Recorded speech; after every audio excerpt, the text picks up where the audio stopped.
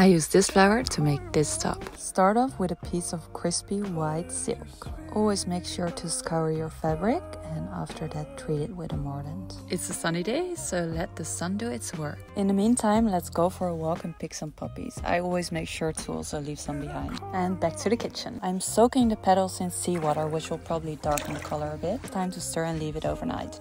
I saved one flower to make a little color sample in my sketchbook, and boom, it's the next day.